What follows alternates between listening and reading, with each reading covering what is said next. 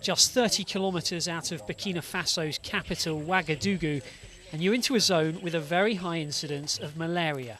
And that's exactly why this team of researchers have come to find and catch the mosquito larvae. We keep them until they're mature to test them in the lab. Malaria is a big killer in Burkina Faso, with 15,000 deaths yearly. Now, the government's trying to fight back.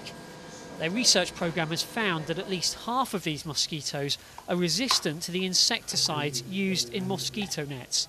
That means the insects can simply wait on the net until they get a chance to bite. Many kids are getting malaria, and it is uh, a major cause of uh, death. This 70 year old grandmother in a village near the capital has seen a lot of grandchildren dying. This year there was a lot of malaria. Small children suffered especially. Mm.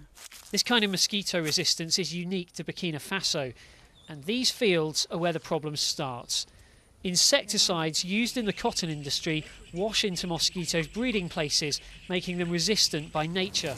But this 37 year old cotton farmer and father of three says he has little choice but to use the insecticides. If we stop using the insecticide here, we'll just have to start treating for other diseases.